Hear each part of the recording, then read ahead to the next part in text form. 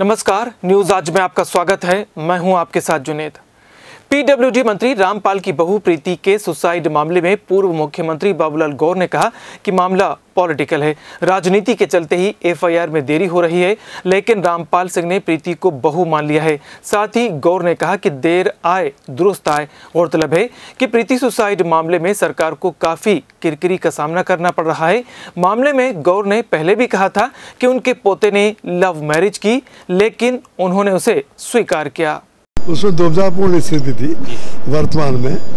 क्योंकि जो सब मामले होते हैं उनके अंदर हम कोर्ट के संबंध में कोर्ट क्या करेगा कितनी इंक्वायरी हो गई है कितने गवाह हो गए हैं किस गवाह ने क्या बोला है तो इस पर रोक लग गई है। आप पूछ सकते हैं कि कितने केस चल रहे हैं लेकिन उसे डिस्कस नहीं कर सकते। तो जाँच के नाम पे भी सवाल रुक जाएँगे जाँच नहीं के- जाँच जाँच में कर सकते हैं जाँच में कर सकते हैं। जाँच के अंदर कार्रवाई क्या चल रही है बता देंगे। लेकिन उसका तथ्य नहीं बताएँगे। क्योंकि फिर तो आउट हो जाएगा ना। वो तो फैसला जज को करना है। आप ही कह दोगे ऐसा होना चाहिए। भोपाल से ब्यूरो रिपोर्ट न्यूज़ आज। फ़िलहाल इतना ही। आज्ञा दीजिए नमस्कार।